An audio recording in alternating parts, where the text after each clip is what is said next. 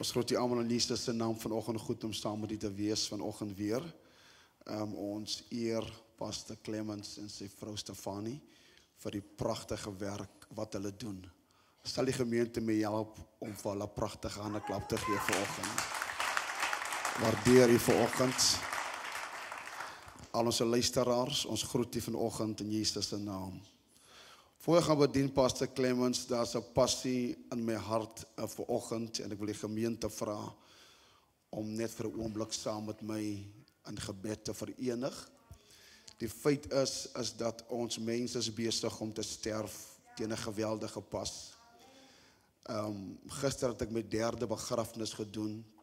Drie stadde agter mekaar. En ons nodig die intervensie van die Here. Tweede Samuel sê daar was 'n plaag in die land gewees. En toe die plaag in die land kom, het Dawid 'n altaar gebou en het brandoffers en dankoffers gebring tydens die plaag. En toe Dawid die plaag bring, die die die altaar bou sê die Here, het God hom oor die land ontferm en hy het die plaag gestop. Ons gebed vanoggend is is dat God hom weer oor Suid-Afrika sal ontferm. En hierdie plaag sal stop. Een van seker kruiskyk so grootse kykers die my nou net 'n boodskap terwyl ek sit en sê ek is so pas positief getoets vir COVID. Een van die grootste ondersteuners van kruiskyk TV. En ek wonder Pastor Clemens of ons vir 'n oomblik net ons hande kan uitstrek en die hemel vra dat God hom tog net sal ontferm oor ons land vanoggend. En dat die Here tog net vanoggend hierdie plaag van COVID sal afwend oor ons land. Hoewel u vanoggend mag kyk na hierdie program, ek wil u nou vra as u kan om vinnig net u dorp se naam in te tik, u plek se naam in te tik en ons gaan die Here nou vertrou vir 'n magtige wonderwerk en 'n magtige deurbraak. Wie glo vanoggend God kan die plaag stop? Amen. Wie glo God kan die plaag stop vanoggend?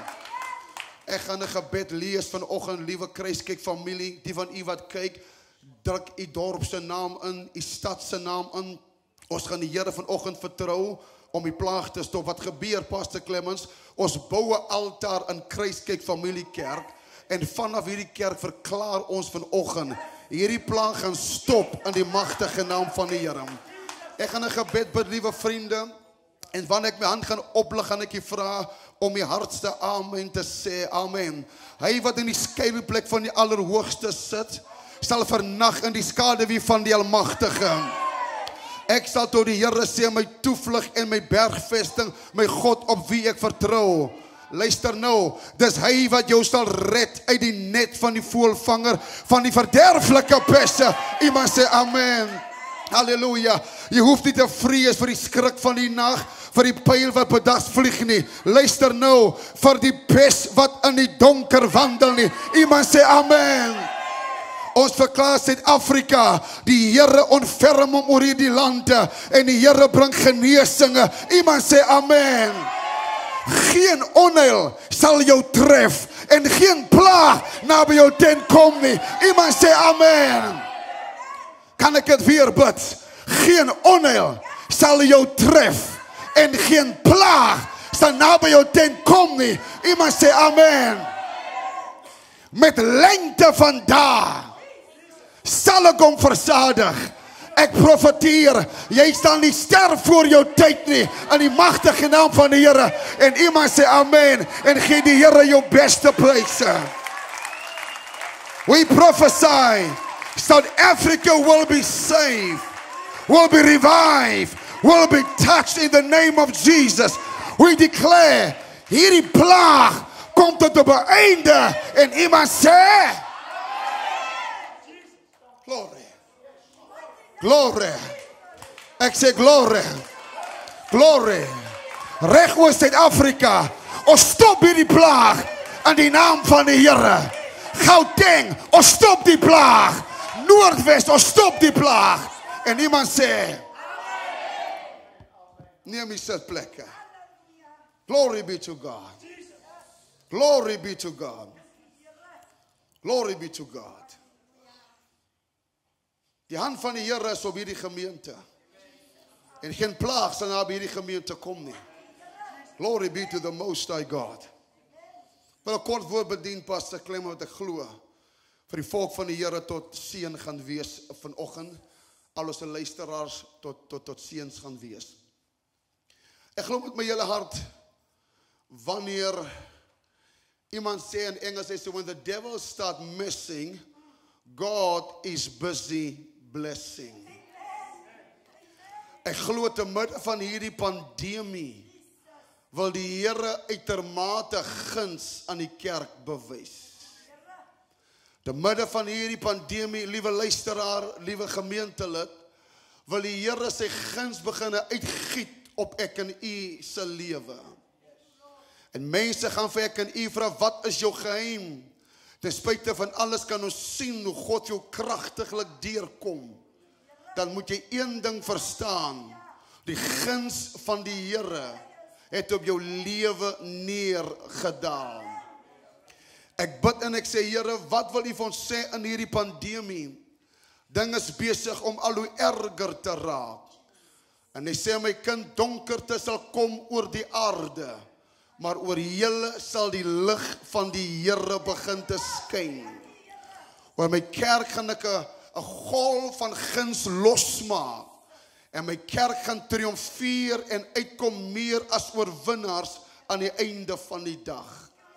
My assignment vanoggend Pastor Clems is om los te maak in hierdie gemeente die guns van die Here soos nooit ooit tevore. Wie van u vertrou die Here vir guns vanoggend? As jy die Here vir guns vertrou, iemand sê net amen. My assignment Pastor Clems is om te verklaar dat die guns van die Here gaan rus op hierdie huis en gaan rus op elke gemeentelid aan die magtige naam van die Here.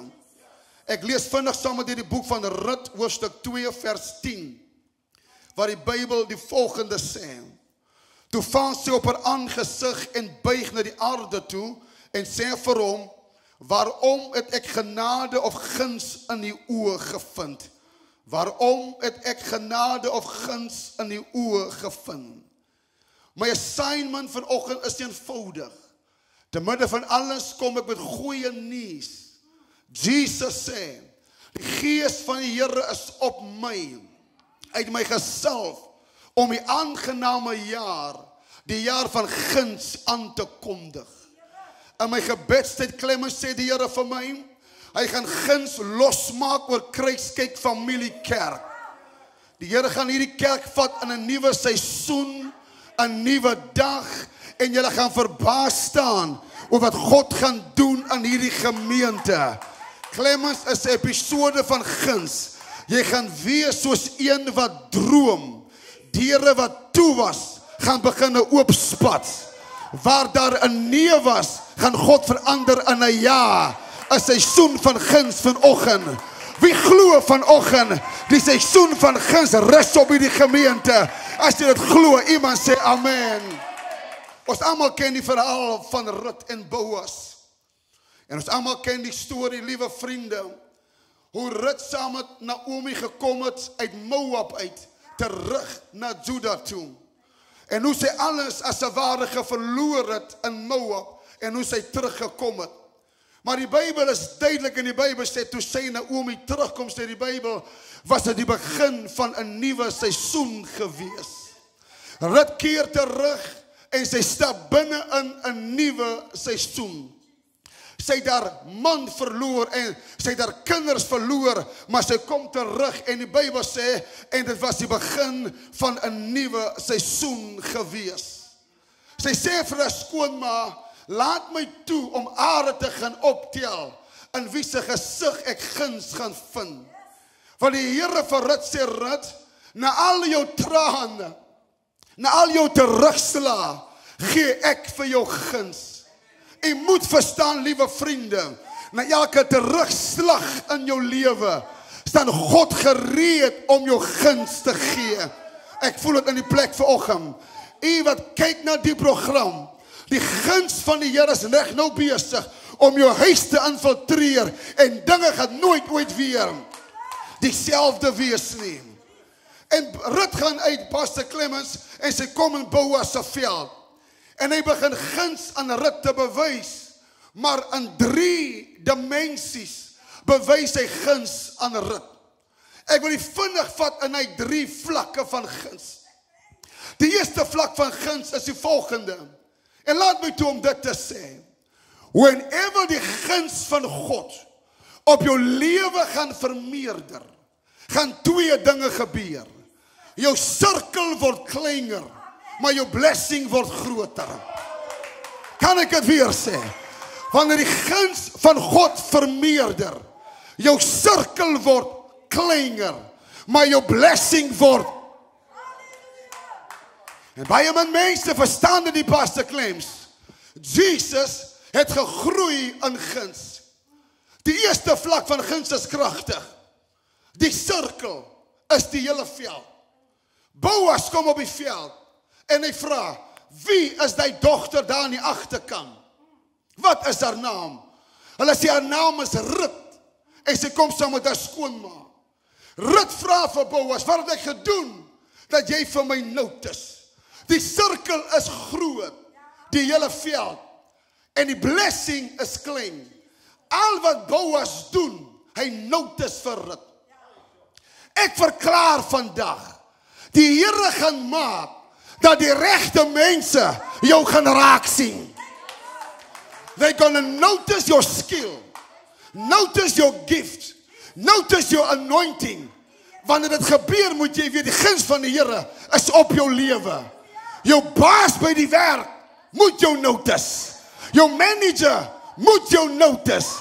Want die guns van die Here rus op jou lewe. Wie glo vanoggend, die regte mense sal jou notice. Iemand sê amen. Ek voel dit.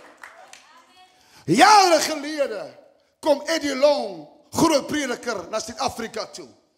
Al die pastore val rondom Eddie Long. Ek sit rustig by my tafel met my iPad en speel. Almal gaan vir 'n foto. Ek is rustig, Clemens. Somehow vang sy oog my. En ek vra vir die mense, "Wie is daai man?" Hulle sê dis Kobus Brouwers. Lang storie kort. Maand later, toe preek ek in Amerika by sy kerk. God het gemaak dat die guns my genotes het. Ek profeteer die laaste 6 maande, hulle sal jou notice. Hulle sal jou raak sien. As jy dit glo, iemand sê amen. Glory. Glory, ek voel dit vanoggend. Hulle sal kruis kyk notice. Hulle sal nie die kanaal kan miskyk nie. Hulle sal dit notice. Ek profeteer by die werk. Iemand gaan jou notice. Die koning, maak 'n musikant. Hulle sê koning, daar's 'n jong man. Sy naam is Dawid. Ons het gesien hy kan speel. Hy's begaaf. Hy's gesalf en die koning sê, "Bring hom na my paleis toe." Die Here sê Pastor Clemens, die guns rus op hierdie gemeente en hy sal seker maak dat die regte mense jou sal Hulle sal jou raak sien. Al wil hulle jou nie raak sien nie. Guns gaan maak, hulle gaan jou raak sien. Iemand sê amen. Wat nou gebeur is kragtig Pastor Clems. Hy sien en raak. En hy sê vir as jy dors is, daar is water vir jou. En hierdie vlak van guns gaan dit nie om God se hand nie. Dit gaan om God se hart. Halleluja. Halleluja. Hy sê vir haar, as jy dors is, daar is water. Dis al. Maar ek het jou genotes. Maar wie is reg vir oggend vir die next vlak van vywe? Kan ek dit saamvat vir oggend? Wie sê vir nog 'n pastoor, ek is reg vir die volgende vlak. Nou Pastor Clemens, nooi hy vir rit vir 'n ete. Die sirkel nou is kleiner. Is dit nou die hele veldjie? Is rit Boas en 'n paar van sy werkers. Die sirkel is kleiner. En die Bybel sê, nou gee vir rit te ete van 'n glas water af na 'n hele Nando's maaltyd. Van 'n glas water af na 'n streetwise toe. Van 'n glas water af na 'n spoor meal. En die sirkel is kleiner, maar die blessing is Daai is die alibaster klems. En die Bybel sê sy eet tot sy versadig is en sy het oorgehou. Kan ek dit losmaak? En net die vlak van guns gaan God jou vat in 'n season van overflow. Dankie vir die amen. Wie glo vanmôre, jy sal nog oor hê. As jou skuld betaal is, jy sal nog Iemand sê overflow. Ek maak los op hierdie kerk. Overflow. Julle sal meer as genoeg hê in die naam van die Here. Iemand sê overflow. En sy eet in die Bybel sê sy het nog oorgehad. Guns maak altyd dat daar oorbly. Guns maak altyd dat jy meer as genoeg het.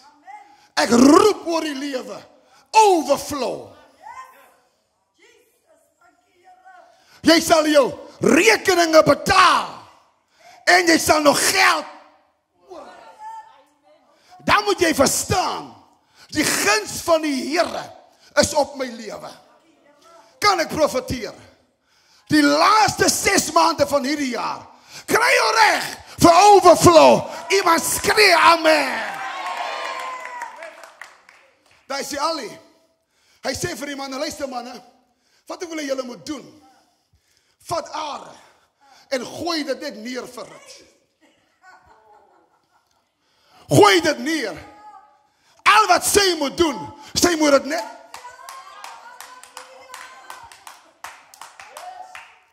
Daar's 'n paar blessings wat vir jou lê en wag. Al wat jy moet doen vanoggend is Wie sê vanoggend ek tel my genesing op. Ek tel my dierebraak op. Ek tel 'n nuwe kontrak op. Ek tel dit op vanoggend. Was die klemmes? Tel dit Wat ander mense voor sukkel, gaan jy net. Wat ander mense voor sweet, gaan jy net. Hy sê vir haar, los dit vir dit dat sy dit net kan optel. Wie glo? Die laaste 6 maande is optel tyd. Toe ek 'n kind was, het ons gesê, optel goed is. Optel goed is. Iemand vanoggend as jy kan, as jy kan, maak net. So, glory be to God. Glory be to God. Tel op 'n nuwe werk. Tel op 'n nuwe kar. Tel op 'n nuwe huis. Glory, kyk hoe tel die mense op as ek klem. Iemand tel op.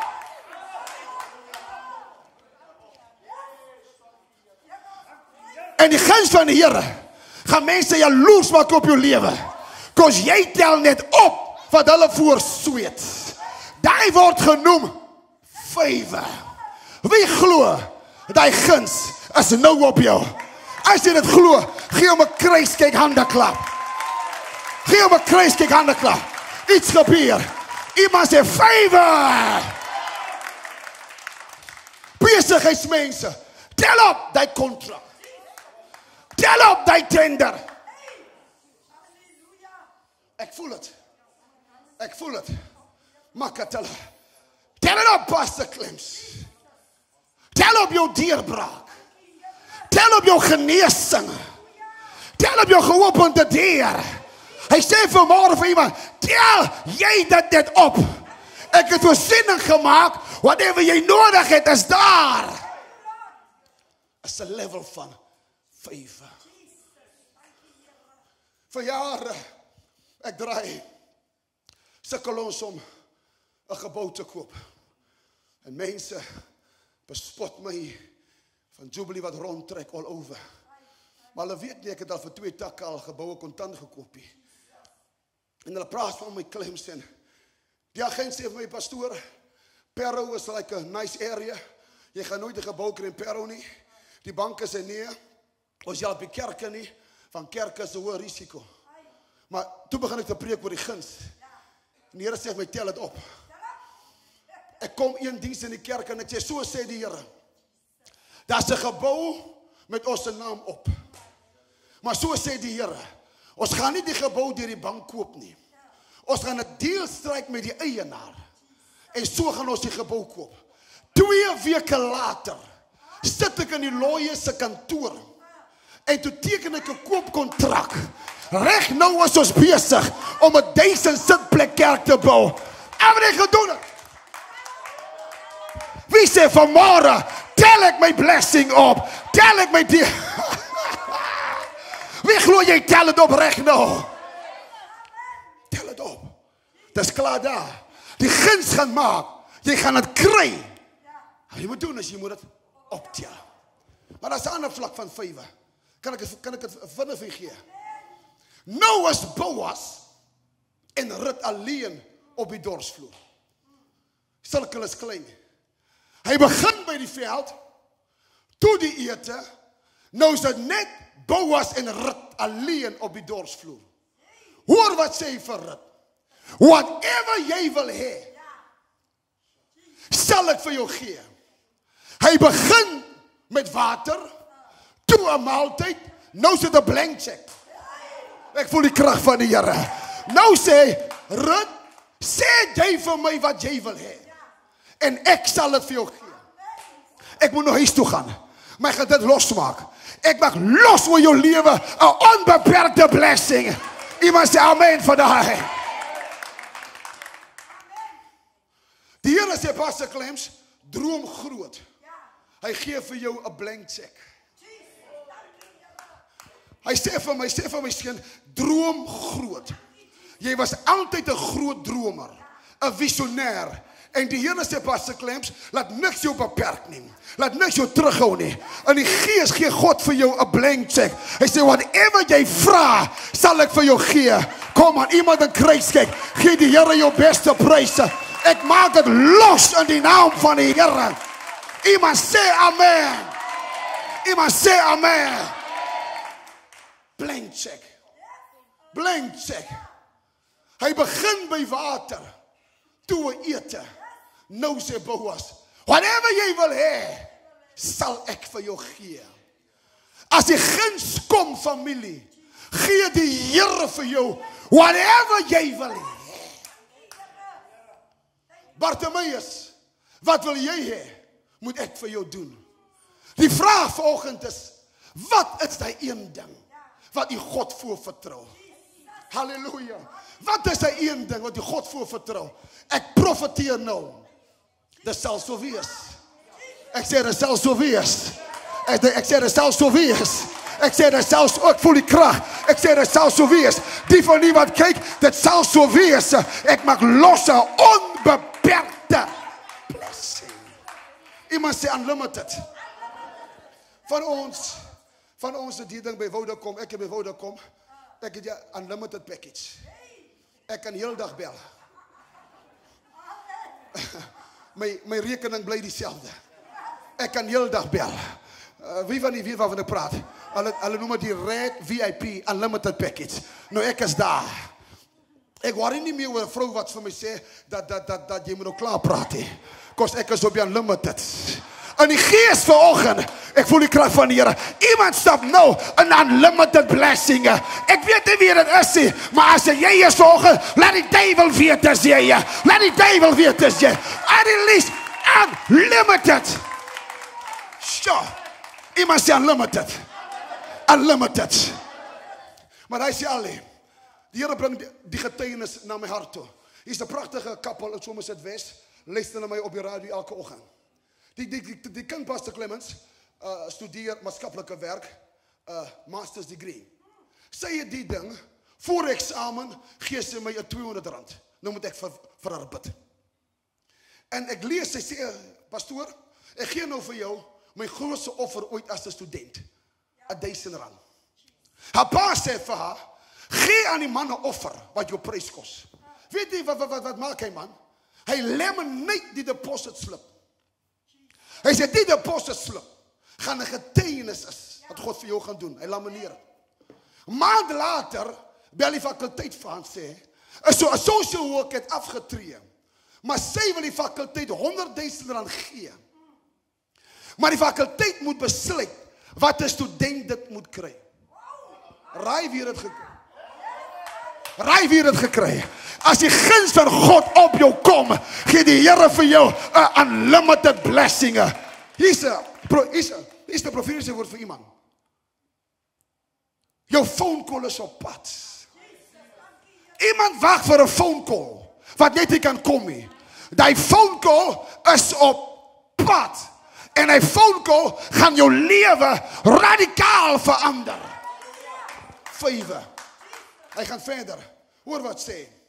Hy sê vir hy sê, hy sê luister, daar's iemand nader aan my wat vir jou 'n losser moet wees. 'n Losser is iemand deel van die familie wat die ander familie loskoop uit armoede uit.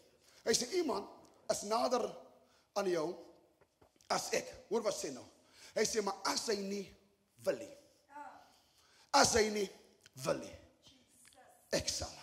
Halleluja. Aan hierdie vlak van guns Here jou unlimited blessing. Maar ek hoop is reg vir die liewe kyker. In die vlak van blessing claims rig die Here mense op wat gewillig gaan wees om jou te help. Wat gewillig gaan wees om jou by die hand te vat. Because sommige mense dink as hulle nie vir jou help nie, kan niks vir jou gebeur nie. Maar so sê die Here, met hulle of sonder hulle, die Here gaan dit vir jou doen. Ek voel die krag van die Here met hulle of sonder hulle God gaan dit doen.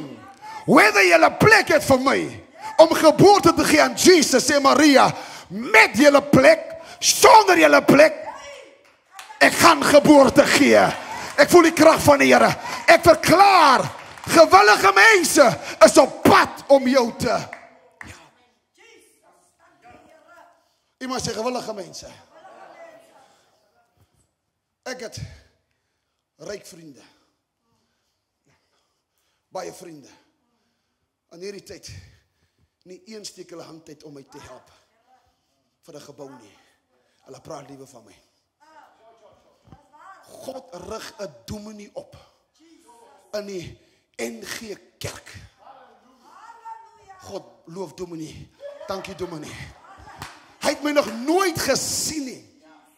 Ek sê vir die agent, sê vir dominee, ons gaan die gebou koop, ons gee 'n deposit, ons sal afbetaal. Hy het my nog nooit gesien nie. Maar toe die guns kom, kom daar 'n gewilligheid om jou te help. Ek het nooit gesien die Clemens, maar ek het dit gepreek van gewillige mense. Die Vrydag. Maandag vra die agent pastoor, "Waar is jy?" Ek sê, "Ek is hier so." Sit of staan jy? Whatever jy wil hê ek moet doen, ek sal dit doen. Hy sê, "Dominee sê, die deal is hier. Kan julle môre teken?" Dis wat die Here kan doen. Wie glo gewillige mense is op pad om jou te help. Iemand skree amen. Ek kom moet om die eerste keer by die lawyer se kantoor. Geseënd dominee. Alle Kobus geseënd. Ek bly sommer net so geseënd, geseënd, geseënd dominee geseënd. Wonderlike man wat dominee is. Maar jy verstaan nie, ek loop onder die guns van die Here. Wie glo hy guns is op jou nou? Ek voel nie. Wie glo hy guns is op jou nou? Sê dis op my, dis op my. Want hy sê al ek was te klas. Hy sê as hy nie wil nie, ek is gewillig. Wanneer guns kom, stuur God gewillige mense op jou pad. Gewillig om jou by die hand te vat. Gewillig om vir jou 'n blessing te wees. Gewillige mense. En raai wat? Hulle is op pad. Amen. Rut gaan terug. Sy sê skoonma, iets het gebeur. Skoonma sê my kind dat laat ek jou nou sê, ek ken daai man. Ja. Hoe was sê sy? Hy gaan nie rus tot die saakie gesettel is nie. Ek maak klaar. As guns kom, elke saak wat hang word gesettel. Elke saak wat jy kan kom tot op 'n einde toe nie word gesettel. Geld wat jy kan deurkom nie, kom deur. Goed wat vas is kom los. Hy's besig om 'n paar goed te settel in die huis. Iemand sê settel dit, Here. Settel dit, Here, settel. Sy sê gaan nie rus voor die saak nie gesettel is nie. Halleluja. Doen moet jy die gerus tot die saak nie gesettel is nie. Toe die saak gesettel is, toe hy inkom, toe breek ek alweer mure af. Hy sê my wêreld Kobus, ek sê dominee, wat ek doen moet ek vinnig doen. Glory be to God. Toe breek ons alweer mure af en ons begin te bou. Wie glo hierdie guns waarvan ek praat is op jou lewe vanoggend. En te midde van Covid gaan hierdie guns jou lewe affekteer. Wie sê prediker ek ontvang die guns reg nou? Clemens is guns op hierdie kerk. Wie glo is guns op Kruiskyk familiekerk? As jy lief is vir hierdie kerk, gee die Here jou beste prys. Ek maak los guns in hierdie kerk. Ek maak los oop deure. Die van u wat kyk, ek maak los guns oor jou lewe. Iemand sê dis op my. Maar nou sny dit af as te Clemens en die en die sê en hy sê vir die ouderlinge luister hierso, julle is my getuienisse dat ek hierdie vrou vat as my vrou. Kan ek die saggie sê? As die guns van die Here kom, hulle wat van jou gepraat het, hulle sal sien. Hulle sal getuies is wat God vir jou gedoen het. Hulle sal getuies is Pastor Clemens om te sien wat God vir kruiskyk gedoen het. Hy sê ek wil hê julle almal moet my getuies wees. As hulle verby Frederik straat ry, en hou ek my so bietjie spoggerig want ons ons ons is op drie plotte. Toe sit ek 38, 40, 42 on Frederik. Hulle kan dit nie miskyk nie. Wie glo jou vyande gaan sien wat die Here vir jou gaan doen. Wie ontvang die guns vanoggend? Staan vinnig op die voete. Gee die Here jou beste prysoffer. Iemand begin om te prys in die plek vanoggend. Iemand prys om in die plek vanoggend. Wie se prediker ek ontvang hierdie guns vanoggend. Die van die wat kan begin met die Here te praat. Rebo shakaraba. Daar by die begin met die Here te praat. Hier's guns in die plek vanoggend. Hier's guns in die plek vanoggend. Die guns wat groter op jou lewe. Iemand begin met die Here te praat, begin te praat. Halleluja. Halleluja. Wie voel vanoggend? Jy staan voor 'n toedeur. Wie voel vanoggend niks gebeur vir jou nie? Receive favor. Favor is begin te gebeur. Kom ons begin te praat met die Here. Makatalabo shebe. Mantalaba.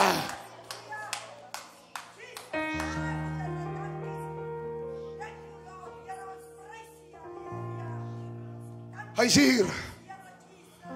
sê die Here is hier om guns aan jou te gee en guns aan my te gee. Die sirkel is kleiner vanoggend. Jy het vriende verloor in die proses. Maar die blessing is groter oor jou lewe.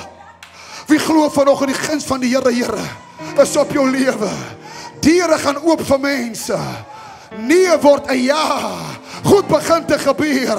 Guns van die Here. Makatele boshaya. Terwyl Pastor Clemens saggie speel, die Here sê, "Lei my volk in 'n tyd van gebede. Laat my volk met my begin te praat. Wie wil vinnig saam met my begin te bid? Daar waar jy staan, begin met die Here te praat van die guns op jou lewe." Halleluja. Vader ons eer U. Vader ons aanbid U. Vader ons dankie vir guns in die plek van môre. Gees van die Here, Here, sweef laag vir oggende. Sweef laag vir oggende. Iemand nodig guns vir môre, Here, in die magtige naam van die Here. Te midde van COVID-19, Here, bless ons vir môre, Here. Gee guns aan ons vir môre, Here. Laat die regte mense ons raak sien. Ons bid dit so vir oggend in die naam van Jesus. Day of my life I am blessed. When I wake up in the morning, I lay my head to rest. I'm blessed. I am blessed. I'm blessed. I am blessed. I am blessed. I am blessed. Receive the blessing. I am Receive the favor. In the name of Jesus. Every day Ontvang het of reg my nou. life, In die naam van die I am Here. blessed. Dit gebeur vir jou familie. When Dit I gebeur vir jou wake up besigheid. in the Guns van die morning, Here. By I die lay kollies. my head to Universiteit. rest. By jou I huis. am blessed. Maak ek los. Guns van die Here. I am blessed. Meer as genoeg. Meer as genoeg. I am Meer as blessed. genoeg. Meer as genoeg. I am blessed. Father bless us. Release uncommon favor. In the name of Jesus. Let doors be open. Let doors be open. In Jesus' When I name. wake up in the morning, I lay my head to rest. I am blessed. I am blessed. Halleluja. Wie voel dit in die plek volgens? Wat agter my in? Swaar as wat jy kan sê, Vader, ek ontvang Ek ontvang guns op my lewe. Reg nou. Die volgende 6 maande is maande van guns vir my familie, vir my kinders, vir my besigheid, vir ons bediening. Die guns van die Here rus op ons. Dankie Here. Onbeperkte seëninge. Onbeperkte seëninge. Dankie Here. Gewillige mense gaan ons help. Sjoe, ek voel hom. Ek voel hom, ek voel hom. Ek voel hom, ek voel hom. Pastor Clems, ek voel hom, ek voel hom, ek voel hom. Jy voel jou rug is teen die muur. Maar die Here sê, gewillige mense is op pad om jou te help in die naam van die Here. Receive the favor of God.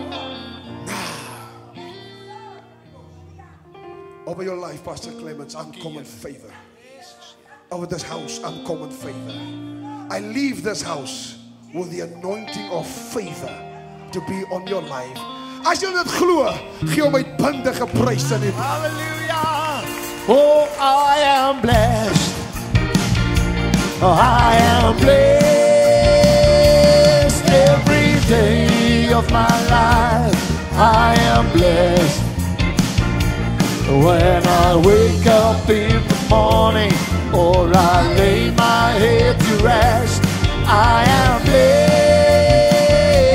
I am blessed. Oh, I am blessed. I am blessed every day of my life. I am blessed when I wake up in the morning. I lay my head to rest. I am blessed. I am blessed. Lord, I am blessed. I am blessed every day of my life. I am blessed when I wake up in the morning or I lay my head to rest. I am blessed.